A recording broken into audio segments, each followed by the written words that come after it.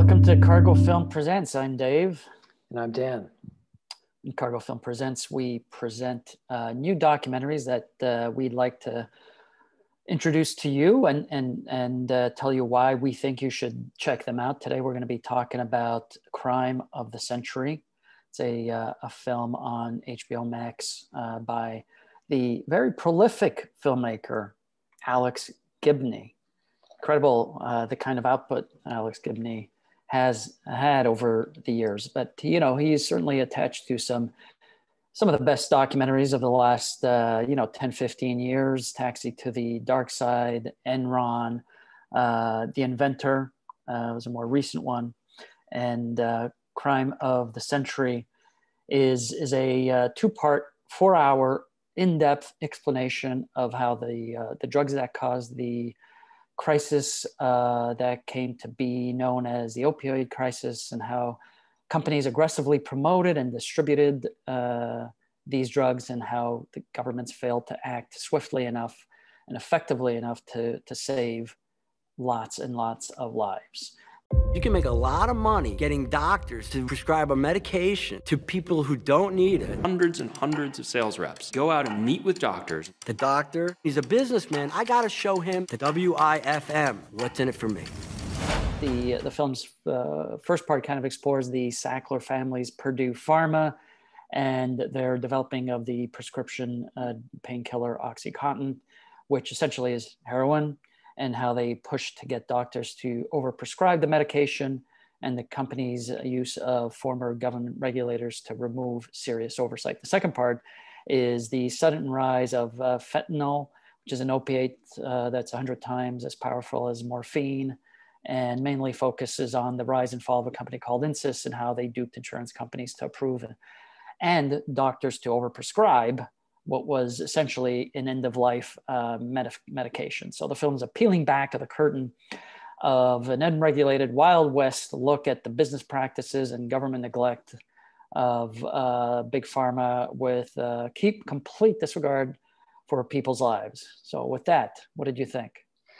Uh, for a second there, I thought you were going to rattle off all of, all of Alex Gibney's films, and that could just fill a whole episode of Carl oh yeah Film Presents, right? Absolutely, he's super prolific. And my goodness, yeah. I mean, to me, there was a, there was a sense that the film and and Gibney were trying so hard to get you to watch this film about mm. a subject matter that you'd probably rather not, the opioid epidemic um, you know, the crime of the century and Purdue and Big Pharma are drug kingpins and, and suits. And like, don't worry, this isn't a social issue film. This is a, a true crime, you know, murder mystery. What if the opioid epidemic started with the crimes? The, the kind of the, the hook of the film, you know, and right. which part of me kind of understood. I mean, the opioid epidemic has kind of tor- torn through America, especially, you know, poor and rural America. I think it's like 500,000 death toll at, at this point.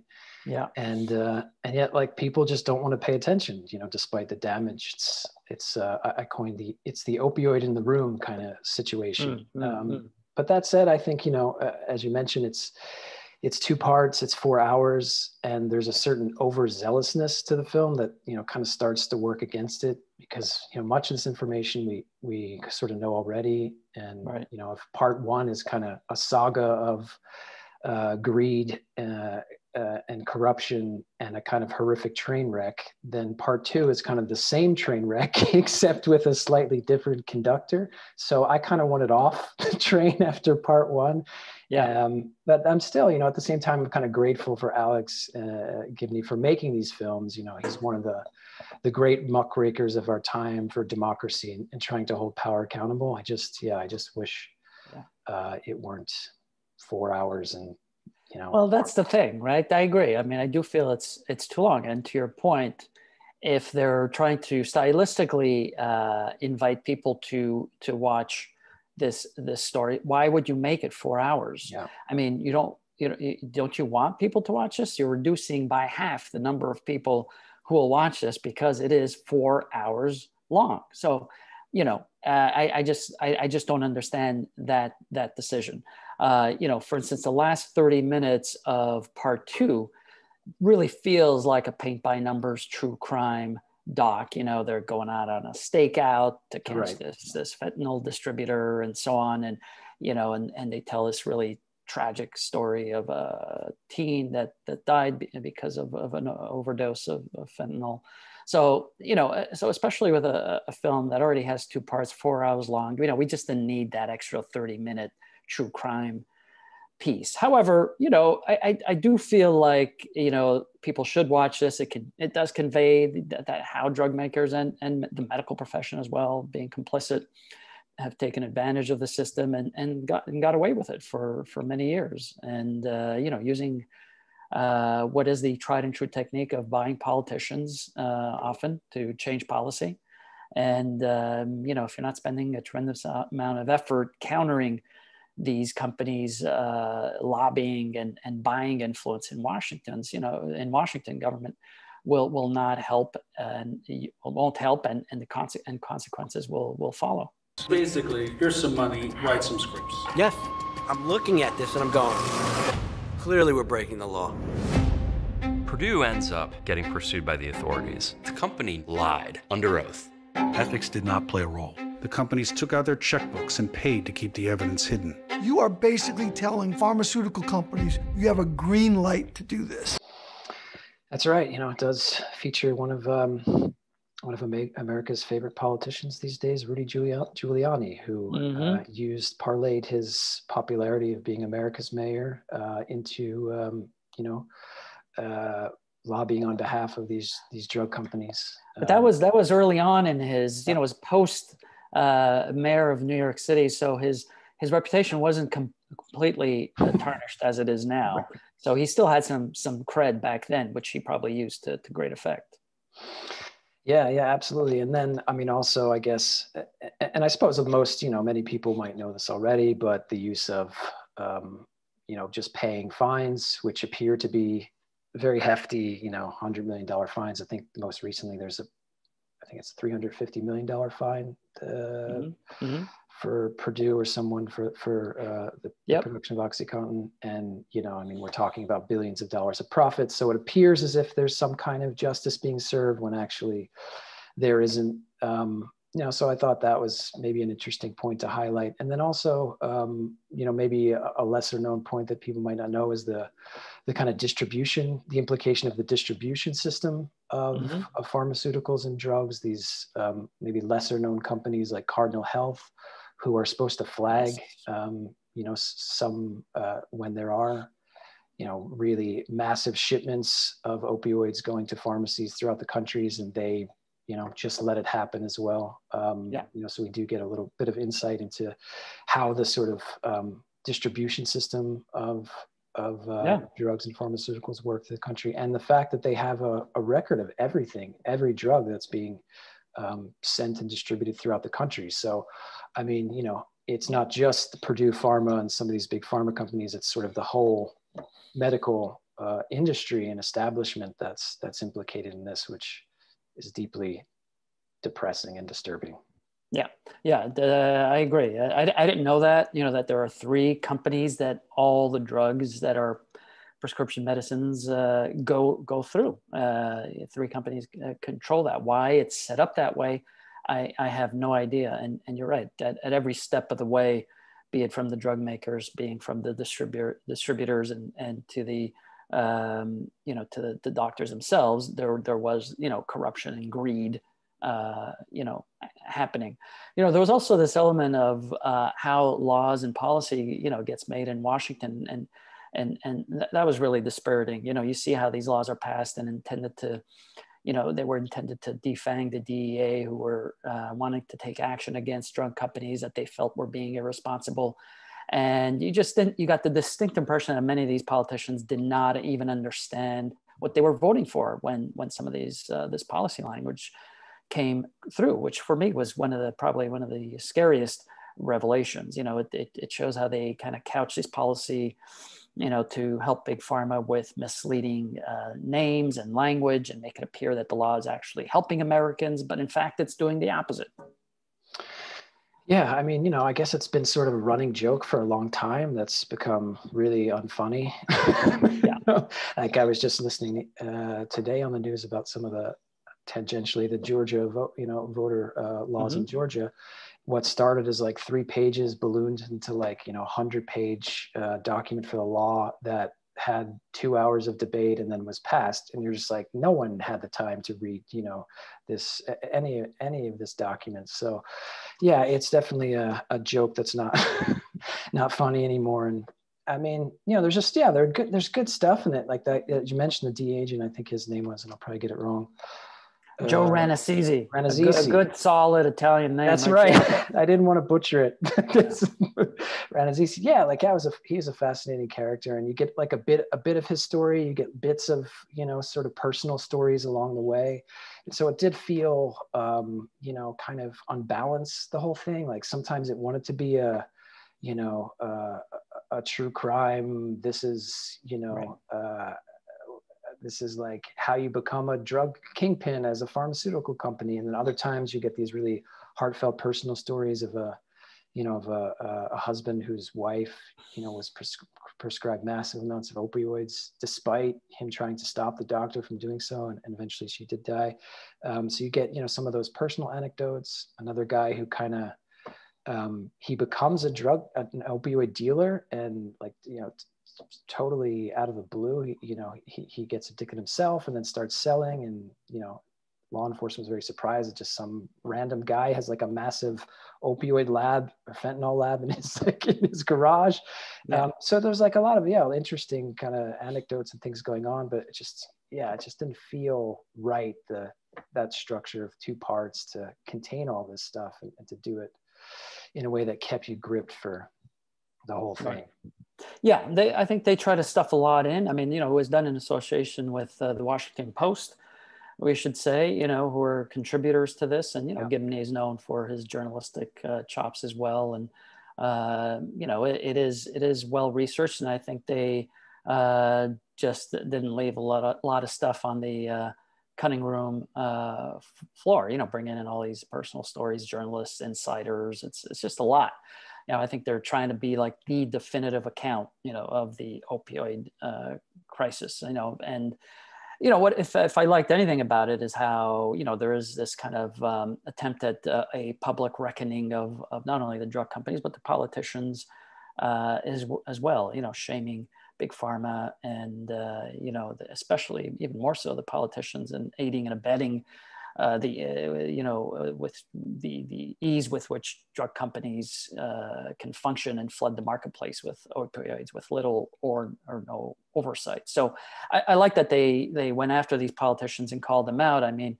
Um, if, if government re- regulators are, are not going after them, well, then maybe you know people like Alex Gibney, you know, you know, we need people like that in the world to expose them for for what they're what they're doing. So uh, and it's it's not ancient history just yet. You know, these people are still in, in government and or or working. So I, I, appreciated that.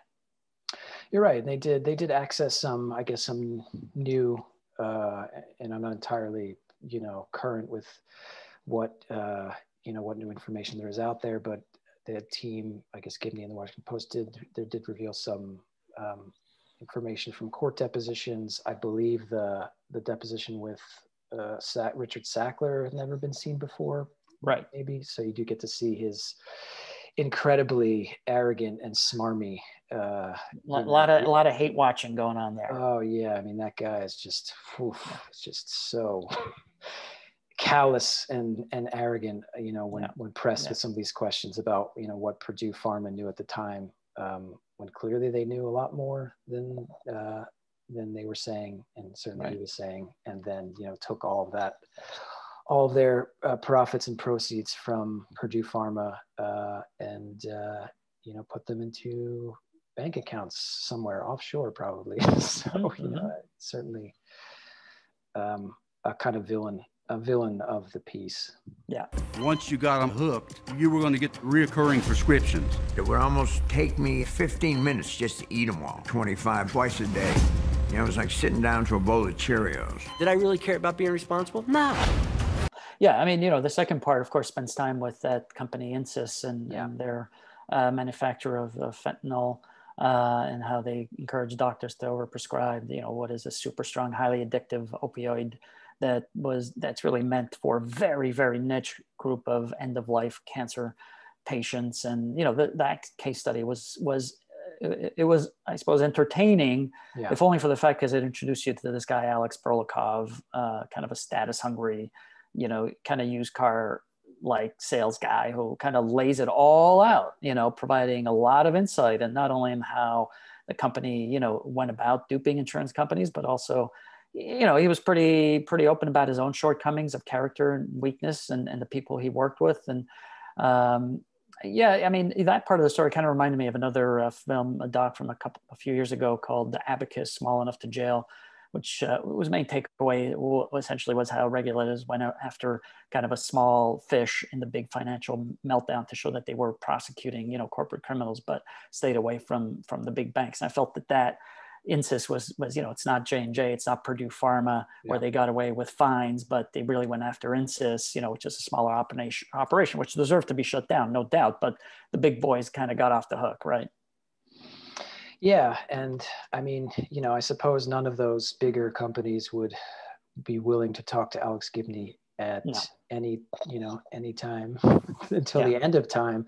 But you know, yeah, there was a feeling in which you know you kind of wanted him to get a little deeper, further. I mean, you did get some, you know, some of the uh, villains like Burlakoff and Lynn Webster in the first Yeah. part, you know, who was running a pain clinic and was just handing out, you know, opioids like like candy. And Yeah. um, you know, so you do get access to some of those guys, but you know, yeah, I, I suppose he didn't, he wasn't able to get any further. I mean, he didn't have any access to the Purdue fa- uh, Sackler family or you know any other Right.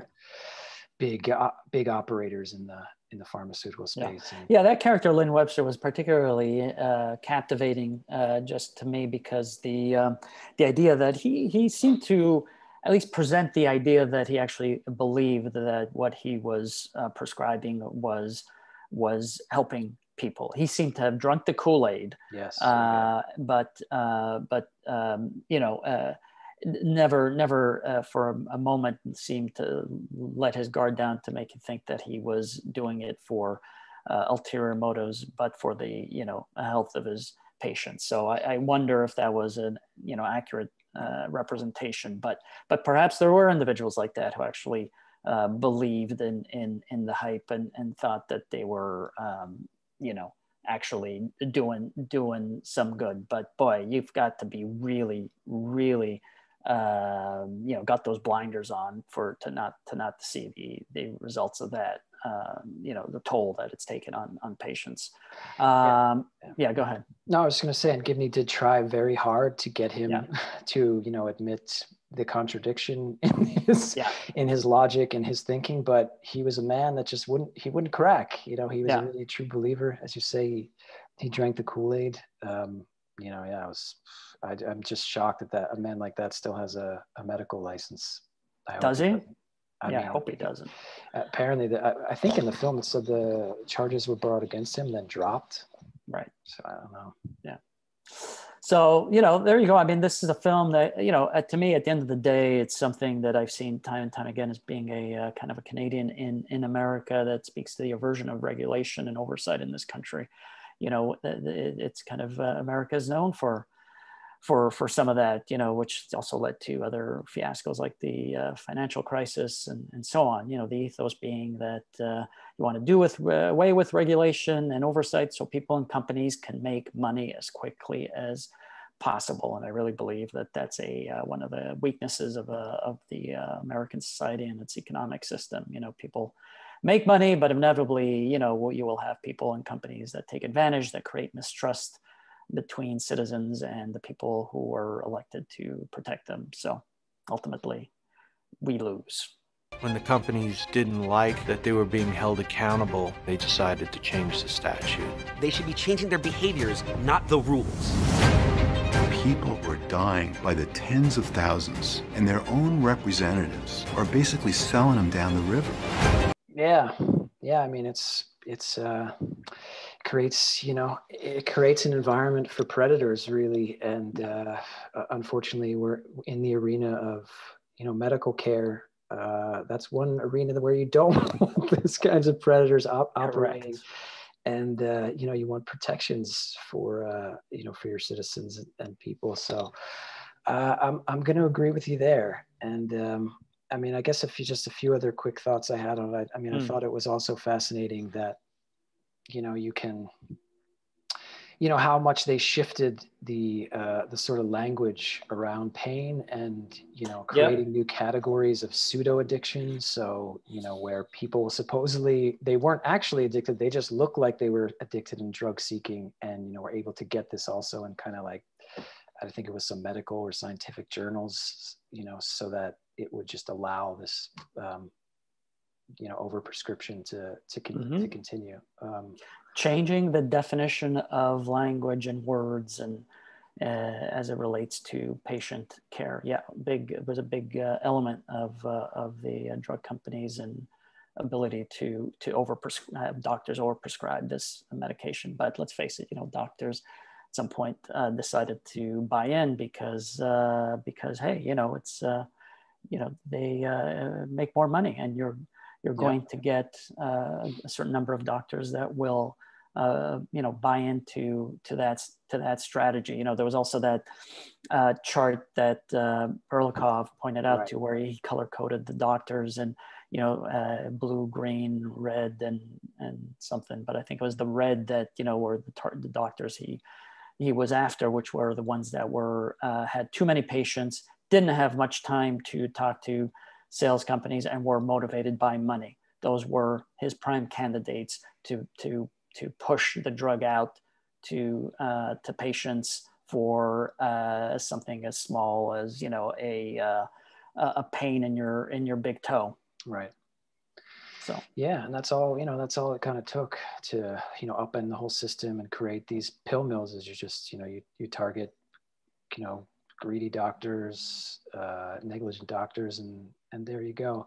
Yeah. I mean, I will say, you know, I, I guess the last thing I had to say about this is I was, I guess, a little surprised that Gibney didn't, you know, dig f- further. I know we mentioned he went after some of the politicians who were, you know, maybe yeah. in the pocket of big pharma, but I, I was surprised he didn't go into you know this question around the policy of when they realized all these pill mills were popping up all over the country and they just started cutting them off um, you know and right. they thought that the solution to the problem was to stop over prescribing and that would you know control right. the opioid epidemic which was a huge mistake you know right. essentially you're just cutting off all of these people you know from highly addictive drugs and then just they're sort of left to their own devices you know which then led to even more overdoses and also seeking, you know, street fentanyl and synthetic opioids that were being flooded into the country, you know, by um, actual drug cartels.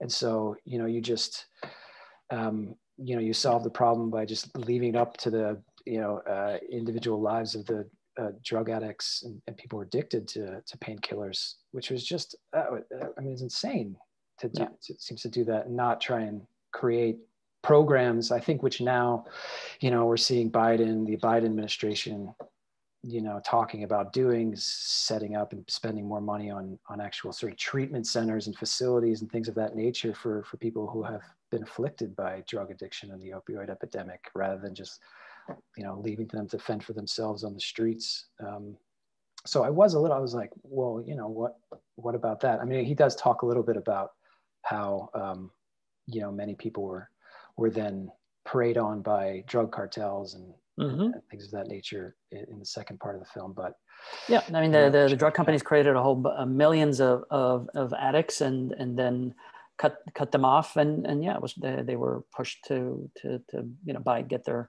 fix uh, underground. So um, on the black market, I should say. So, um, um, so yeah, that did did make the uh, problem worse. And of course, you know, we're not going to get into it now, but there, uh, you know, Florida makes an appearance in this documentary as well, and, and a lot of docs that we speak about there, there seems to, you know, especially when it comes to um, uh, things of uh, having to do with uh, corruption and or crime, Florida some, somehow kind of, you know. Uh, finds finds a way into the story and and and it does so here so um, you know that this is a crime of the century by Alex Gibney. We will leave you with uh, the, the the death toll of 500,000 Americans that have died from opioid-related overdoses since 2000. So thanks for uh, checking this out and uh, check out check out